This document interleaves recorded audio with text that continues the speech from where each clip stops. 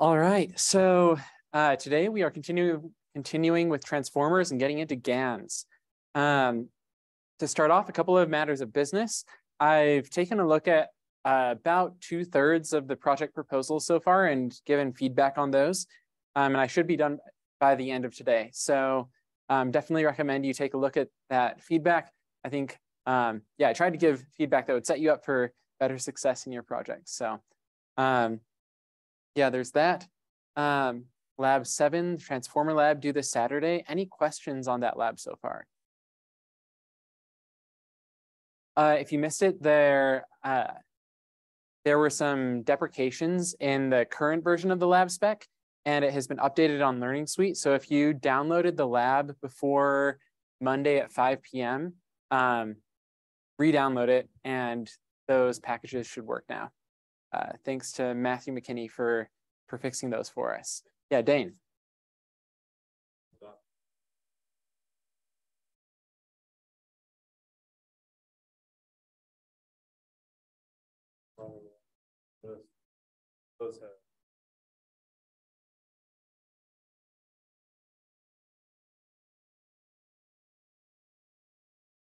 Sequence length by embedding dimension. Yep.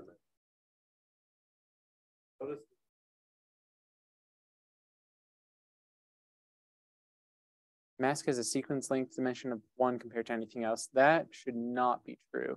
The mask should be L by L.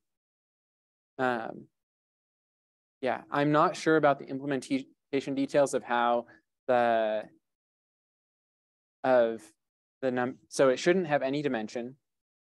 Uh, it should have a length of one in the D dimension. It should be L by L. And then I'm not sure if we have N copies of the same mask across the batch, um, or if you just have one single mask, one, one single mask that is just copied across the batch. Um, but yeah, the, the mask itself, the important information is just L by L because that tells you which tokens pay attention to each other. Yes, each, each, each sequence should have its own. Hmm? Yep. All right, so today uh, we're going to talk about some variations on the transformer architecture. So to start off with, we have BERT. Uh, bi, I think BERT stands for bidirectional um, encoder representations for transformers. So basically the whole idea behind BERT is that we don't necessarily need, we, we don't necessarily need the full transformer architecture. Um, the original authors of the transformer paper introduced an architecture in the broadest context that had both an encoder and a decoder. But uh, the authors of the BERT paper recognized that uh, in many cases, you may only need an encoder. And so that's what they did. Um, so this is the whole idea behind BERT is we want to learn representations of our tokens. We want to learn deep bidirectional uh, contextual representations for each token in a sequence. And in order to do that, we don't necessarily need a decoder.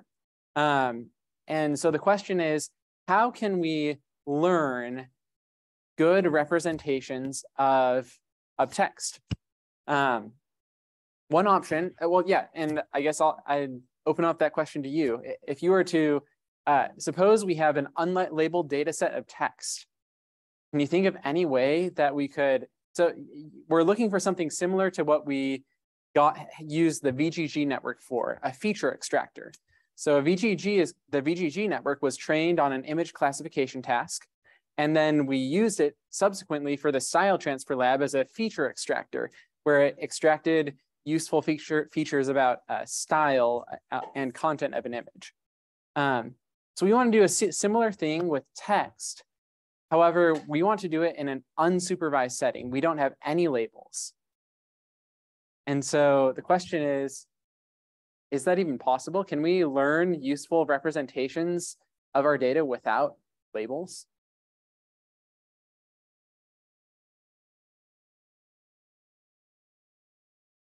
I'll give you a hint. The answer is yes. Um, think, think about it for a second. Can you think of any ideas of a training objective that could help you learn, uh, yeah, some perhaps useful representations of, of text.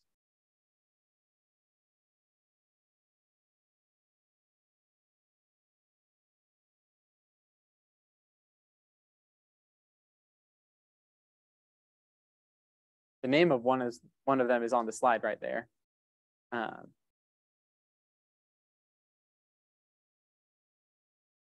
yeah, Dane, you want to give it give it a shot?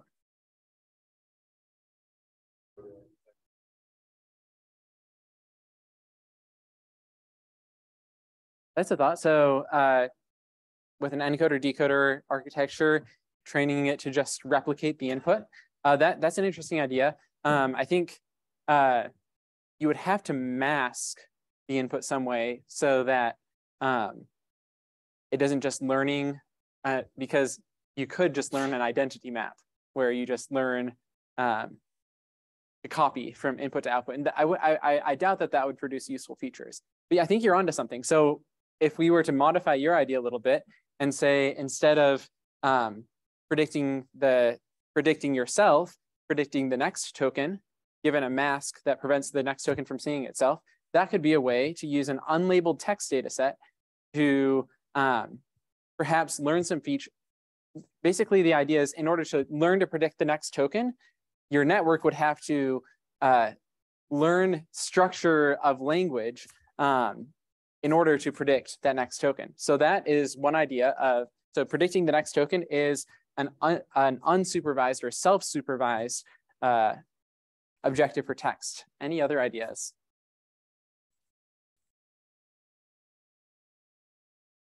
Yeah.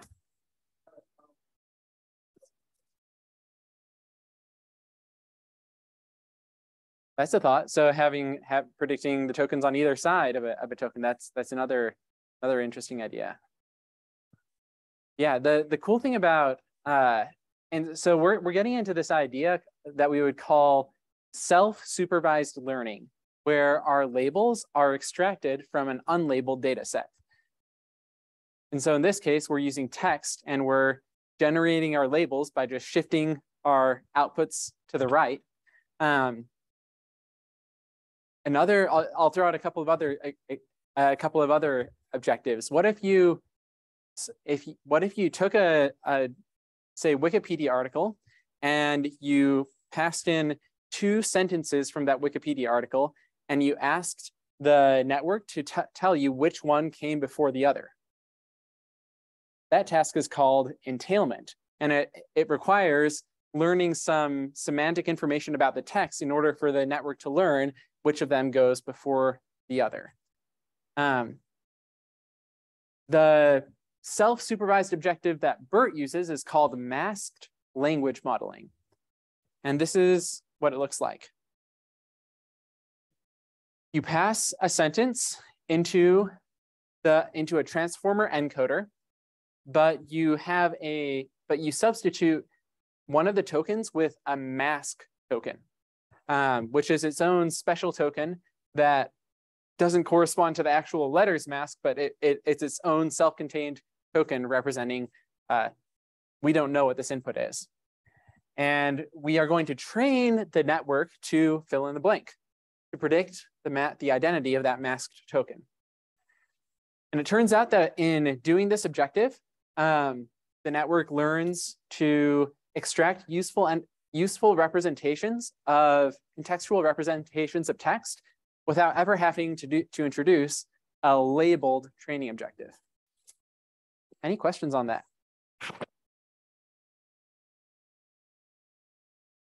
Okay, so the, the, the, question is, what would those features then be useful for?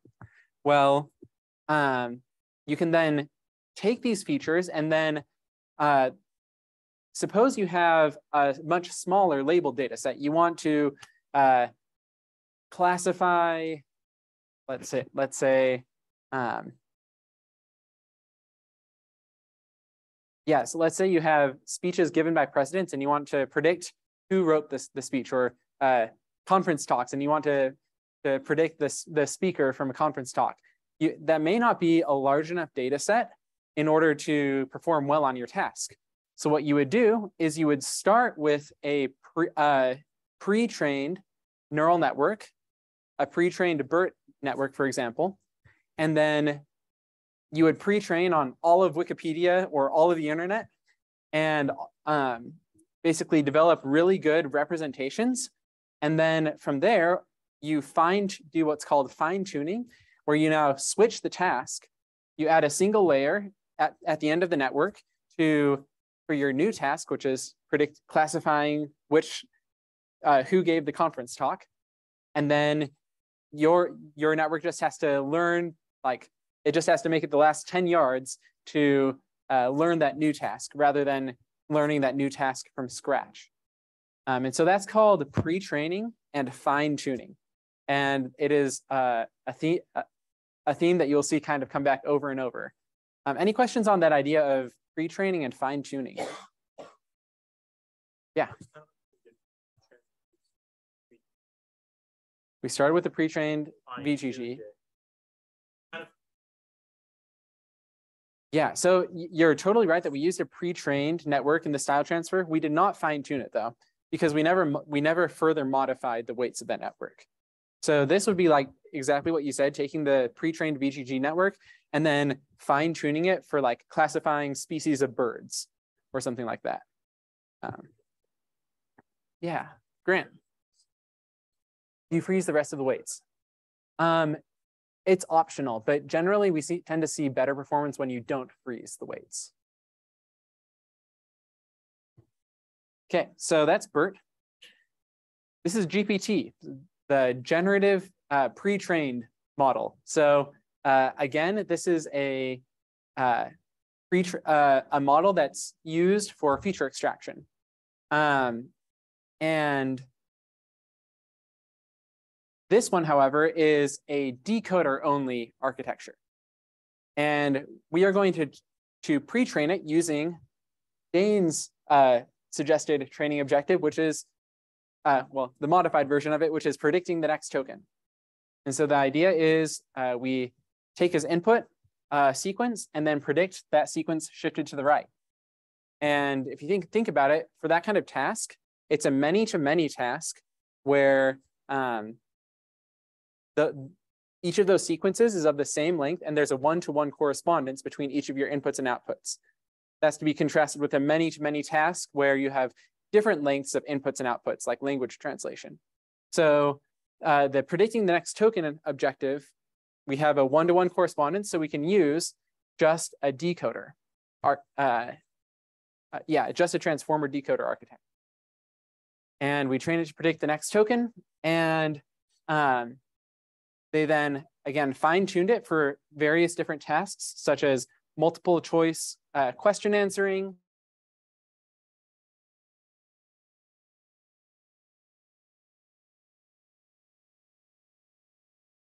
and ended up getting pretty good results. But that was just kind of a first experiment uh, because then they scaled it up. And came out with GPT-2. Uh, yeah, question, Jaden. So you said that it's uh...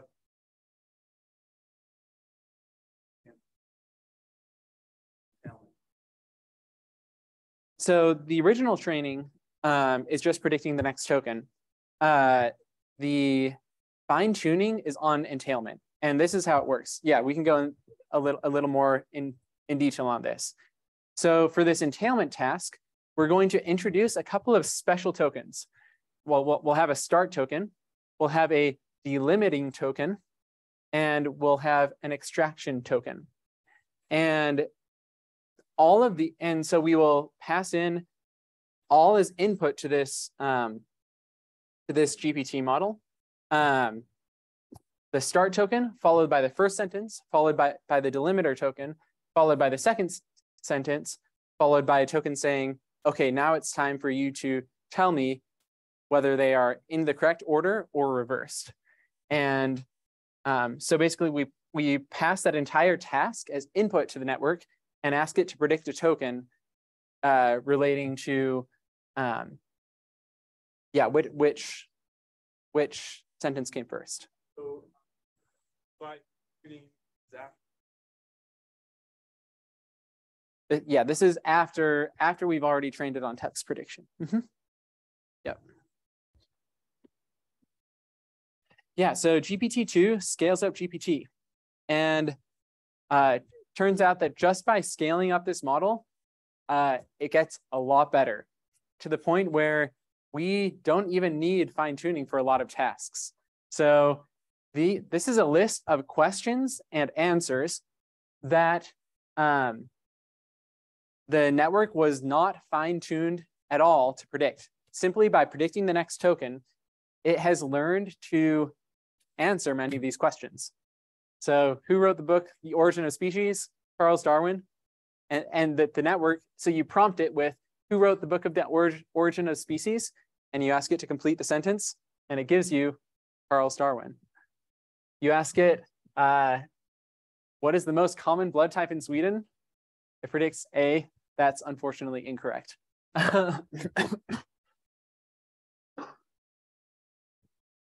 um, nuclear power plant that blew up in Russia, Chernobyl. Uh, I guess that's kind of correct. It was in the USSR, but uh, we'll we'll we'll give it we'll give it credit credit on that one.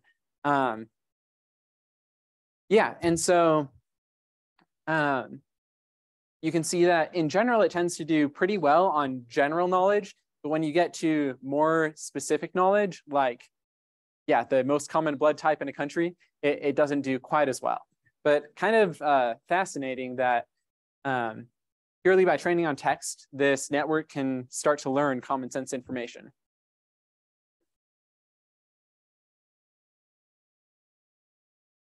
Um, and so we're, and then, so there's uh, one more iteration of GPT that has come out uh, since then. Yes, question. Okay, all right. So, and that is called GPT-3. GPT-3 takes this idea of prompting the network with questions and takes it one, one step further. And where we are going to prompt the network not just with questions, but with entire tasks. Rather than, so now instead of fine tuning this network for multiple choice answering or whatever, we are just going to provide a either um, a few examples, one example, or no examples, just a description of the task, and see how well the network does. And so, for example, we would prompt GPT-3 with this following task. Translate English to French, sea otter, loutre de mer, uh, peppermint, menthe poivre, um, plush giraffe, giraffe fluche, cheese, and then asking it to translate. And it turns out that without ever having um, trained on the English to French translation task, uh, the network is able to translate from English to French simply by being prompted to do so. Um, so they do the few shot task, the one shot task, and the zero shot task where they describe the task and don't even give any, any examples and show that as you continue to scale the network, um, it becomes better and better even at zero shot tasks. Uh, yeah, what, what, what's your thought? Great question. Yeah, can this do just language or can it also do like integrate this, this, this equation? They actually uh, tested on math in the paper. If you look at the GPT-3 paper and yeah, found that these models were able to do like arithmetic and uh, multiplication. I'm guessing they could probably do some pretty basic integration. Um, but yeah, I think you're starting to grasp like kind of the power of these language models. Like, what if you trained a language model on um, math papers uh, trying to prove the Riemann hypothesis and asked it to produce what it to, to give its own opinion, you know? Um, yeah, so I think I, I personally am of the, the opinion that uh, as the these models tend to continue to improve, we will see a lot of uh, inspiration for uh, scientific research coming out of uh, coming out of the, these models that are trained on on research papers. So yeah, pretty cool stuff. Any other thoughts on GPT? Yeah.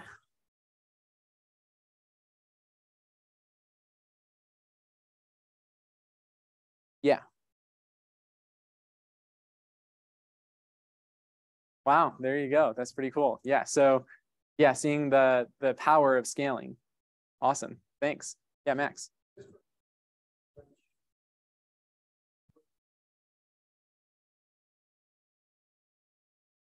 Yes. Uh-huh. Yeah. So um yeah, it was trained on text from the internet. So there's text of all different languages on the internet, probably more English than any, anything else.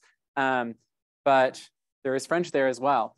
And maybe some French translation in there, probably not a lot of it though. And so the kind of amazing thing to think is that it trained on English text and trained on French text, text probably not without any pairs of translation, and yet learned uh, basically just through contextual representations that certain words in English corresponded with certain words in French. Yeah, kind of amazing.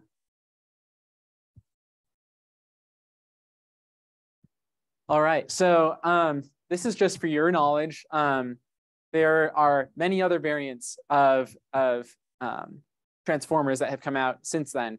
Um, BERT and GPT were kind of the pioneers in these pre-trained transformers. Uh, but there have been, yeah, lots of efforts to improve them. These are a couple of their names. Um, also, something that I would be remiss not to tell you about is the Hugging Face uh, Transformers open source uh, uh, code, code repository. This is, uh, if you, yeah, the, the, the name of the company is the Hugging Face emoji, um, but they, yeah, they have basically assembled an entire library of source code for um, these transformer architectures with similar interfaces to all of them and um, and also a huge number of pre-trained models. So you can find a GPT that's trained on English, a GPT trained on French, a GPT trained on Japanese, Swahili, uh, and probably like the top 100 most common languages in the world. Um, you can also probably find a GPT trained on music. Um, so definitely checking out the Hugging Face Transformers uh, library or uh, repository is definitely uh, encouraged, and you may find something that you can use in your final project. Okay, that's from GPT-3. Yeah, so uh, let's talk about ethics a little bit. So the societal impact of human quality text. We've we saw in the beginning of the class uh, probably uh, more fun, less harmless application of GPT-3. Uh, AI Dungeon, that, that demo that we did the first day of class, uh, is built on top of GPT-3 and is a fun game, a fun kind of uh, text-based adventure game. Uh, however, you can imagine uh, these highly human realistic text uh, models being used for less positive purposes. Can you think of any possible issues with uh, being able to generate human quality text. Yeah, Jaden. Yeah.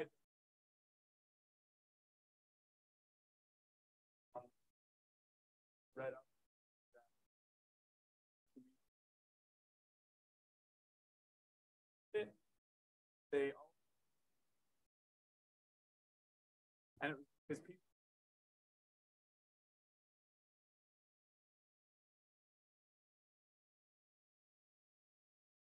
Mm-hmm.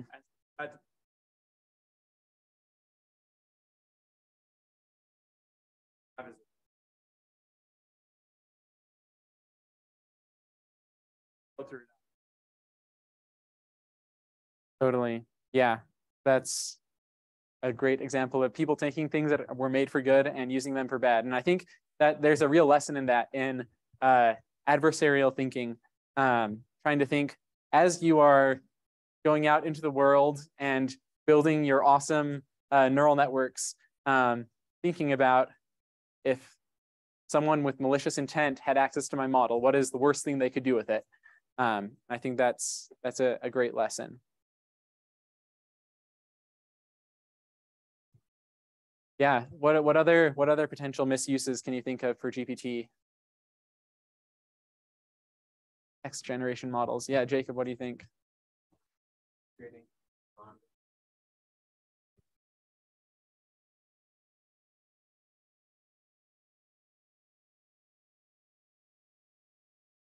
totally. Trying to stir up contention between uh, between governments or countries or people. Yeah. What do you think?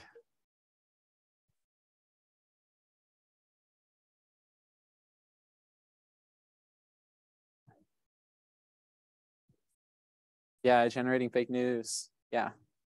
And you can think even like trying to, uh, you could fine tune it to uh, try to, to uh, yeah, try to promote an agenda that um, yeah, to, to, to try to either to uh, create inflammatory content or um, yeah, propaganda, totally. What do you think?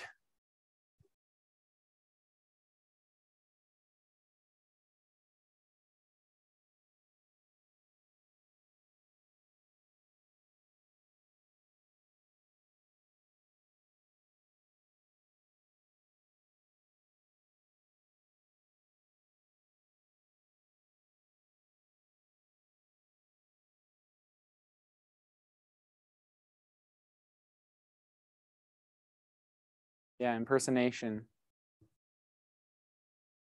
Totally. Yeah. Yeah, Michael.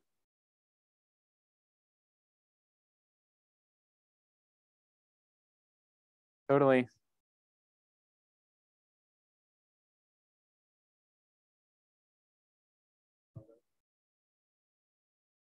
Yeah, so uh, just repeating for the the recording, someone writing their master's thesis with with GPT-3 um, and yeah, like I, I don't know if that I don't know if if that would pass peer review, but you know, like a sixth grade essay, like GPT three could probably do it. In fact, uh, it people have used uh, GPT three to write essays and do their homework, and uh, have done pretty well doing so. And so, I, I guess maybe the ethical question there is: is that a bad thing?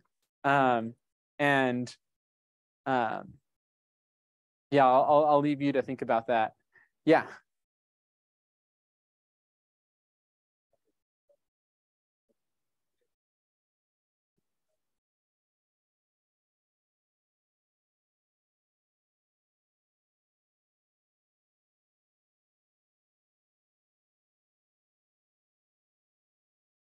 Mm-hmm.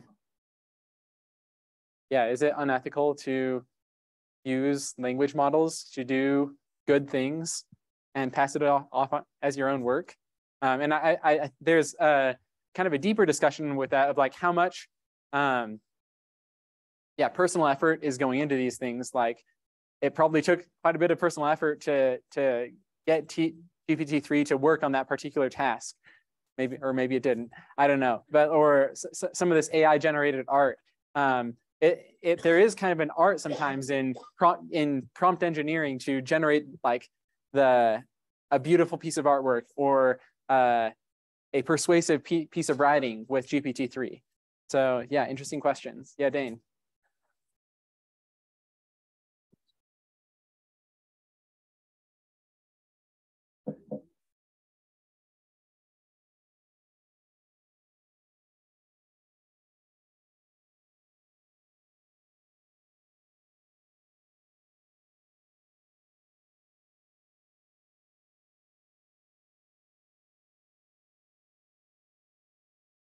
Totally. Yeah. So the question is, uh, what are what are the the positives? Um, how how can we use these things for good? And I think uh, there's also a question a question of, um, yeah, like is it is it really possible to stop the negative applications? And um, yeah, do you want to spend your time developing these technologies in the first place? Um, because it seems that yeah, inevitably once they are released, they are going to be used for bad. But yeah, let, let's let's turn the turn this discussion around and talk about some of the ways that uh, you think that we could use these things for good. Yeah, Grant. Yeah, I don't know if you've heard of it, but there's a, a model based on GPT-3 uh, used for programming that is incredibly good and I think has been shown to improve improve the productivity of software engineers by uh, two to three times. Yeah. Um, what else?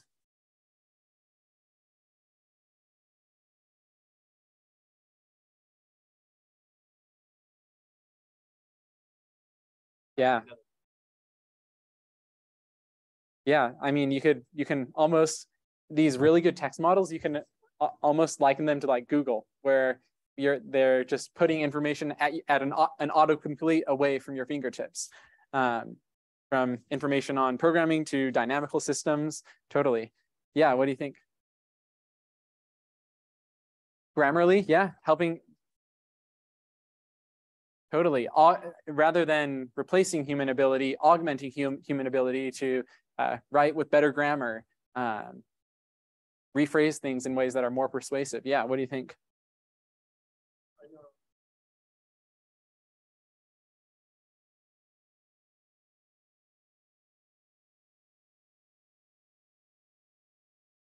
Yeah, predicting future health based on on past health. Yeah. Yeah, what do you think?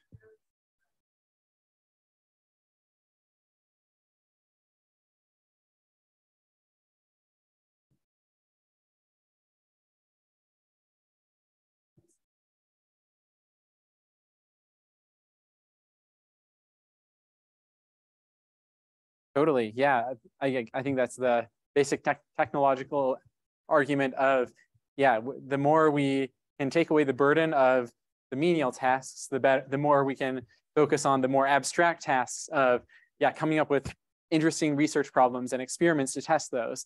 And the more uh, those menial tasks that can be uh, made easier or automated, the, the more we can move on to, to higher level problems. Yeah.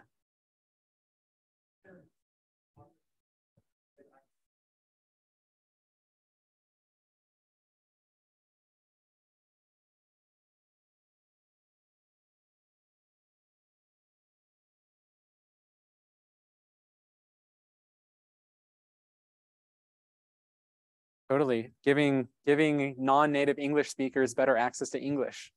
Yeah. And help or help, helping them phrase phrase their ideas in a more universe uh, a language that's more universally understood. Yeah, I love it. So yeah, I definitely encourage you to think hard as you uh, think whether you want do you want to be the person uh, designing GPT, um, knowing that that it can be used for good and bad. Um, that's a decision that's up to you.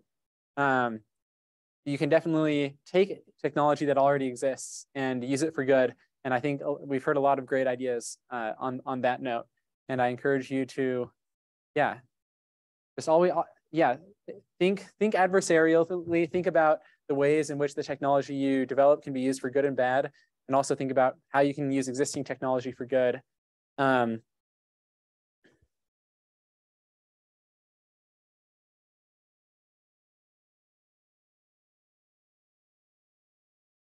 lost my train of thought, but we will move, we will move on.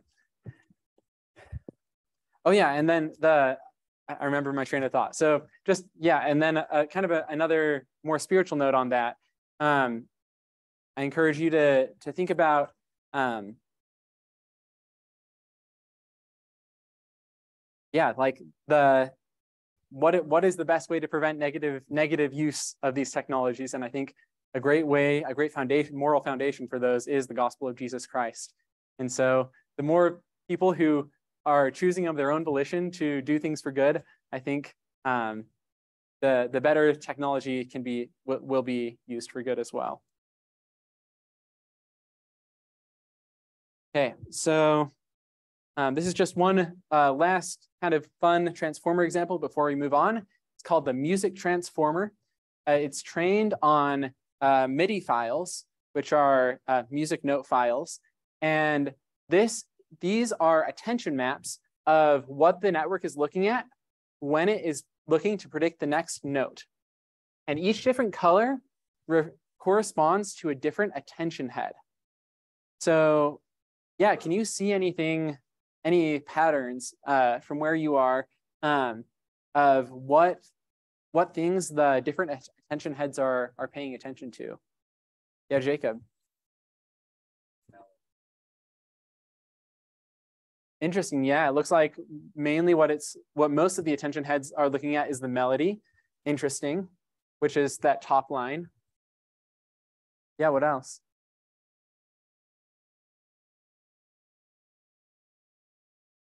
Yeah, it looks like this blue attention head might have might be specializing in chords or something like that, or chords that are uh, two measures back. Um, this orange head looks like it's looking at chords that are only a couple of notes back. Um, so just kind of inter interesting view looking at the specialization of multiple heads in a transformer.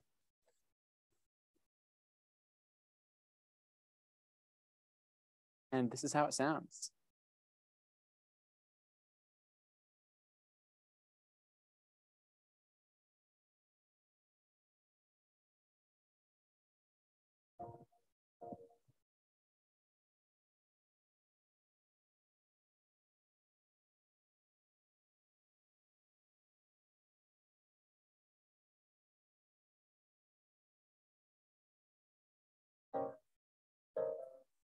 For those who might be familiar with uh, classical music, any guesses on what composer this was probably trained on?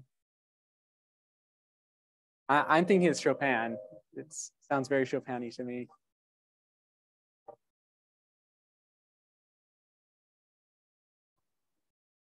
Lots of lots of grace notes. um, but yeah, so that's kind of a, a cool example. All right, so that is it for GANs that sorry, that is it for transformers. Now we are moving on to GANs. Oh, actually, I think we have a quick quiz. Uh, so quick, turn to your neighbor, see if you can answer uh, these questions about the shapes of attention matrix and attention matrices in the transformer.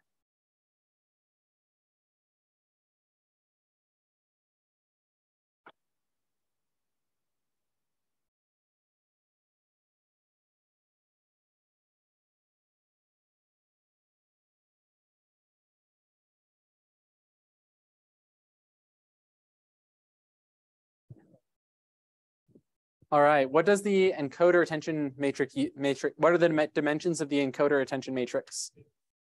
Yeah. L1 by L1.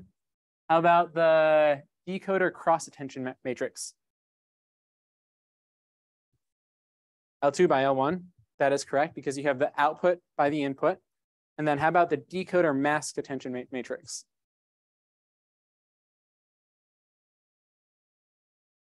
So the decoder mask attention matrix, which is, um, what is the size of the input to the decoder?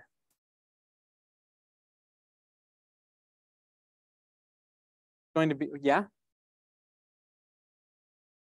Yeah. Mm-hmm. Exactly, yeah. So the input to the decoder is L2 plus one by D. Um, in this case, we're just calling L2 plus one L2. And so in the decoder self-attention, the masked self-attention, the, the correct answer is L2 by L2. Okay.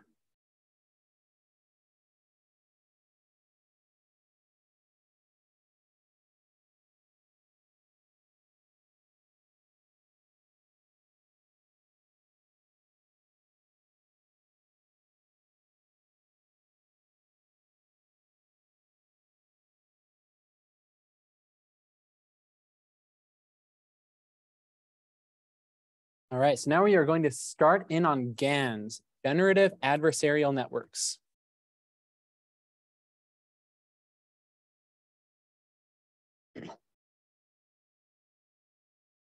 Okay, so this is just a brief video kind of going, giving us a snapshot of, uh, yeah, where we're headed with this. Uh, generation of highly realistic images.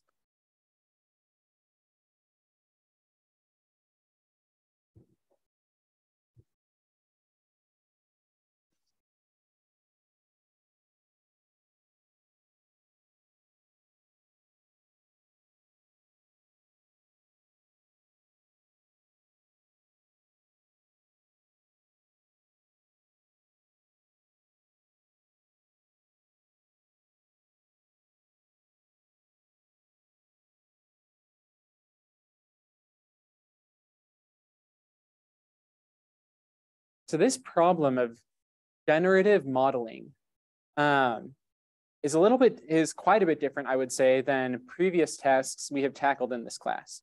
Previous tasks have taken as a, a certain, a certain input and produced an output. And um, we've trained the network to map the input to the given output. But how would you, what, what even would be the input to a network that generates uh, very realistic images of people?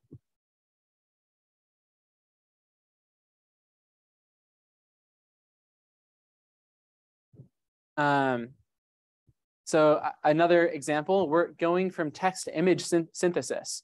Um, so this is a, an example where we would have an input and an output, but it turns out that just doing supervised learning uh, of this problem is not the best uh, approach.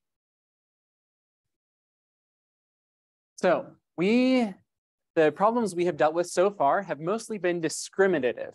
So we want to predict y given x.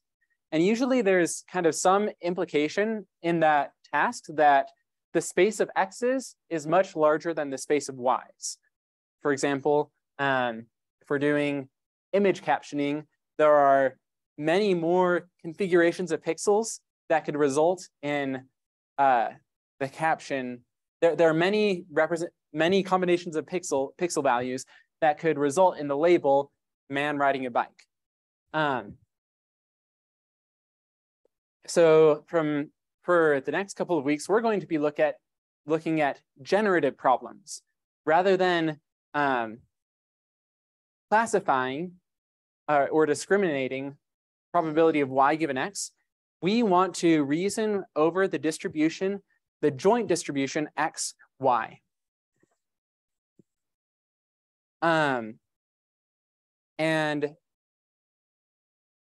yeah, the advantages of that are number one, we don't have to have labels. When we're, when we're looking at the joint distribution, we can do really powerful things with, um, with completely unlabeled uh, data sets, speech synthesis, um, yeah, uh, generating images, etc. So um, there have been many approaches uh, to this generative modeling problem. Um, these are a few of them. Today we're talking about GANs. These are some of the uh, mainstream approaches in 2022. Um, we're starting with GANs, but kind of what, what's in vogue is uh, these days are diffusion models. We, we took a look at stable diffusion in the first couple of days of, of class. Um, you also have autoregressive generative models, flow-based generative models, and uh, variational autoencoders. So um, with a generative model, P of X, um, and you can think of, uh, I say P of X, but X can be a vector. And so P X, y, X comma Y, P X comma Y comma Z. Um, yeah, when, re when reasoning about joint probability distributions, we have two different problems. Uh, sampling, which is where we want to uh, generate some x from the distribution p of x weighted by the probability of, of, that, um, of that item. So for example, in case of generating images, we want to generate images that have re reasonably high probability. And, um, and if we follow that, then we will probably never generate an, an image that's all gray noise. Um, so sampling is one task. Then another task is exact log likelihood computation.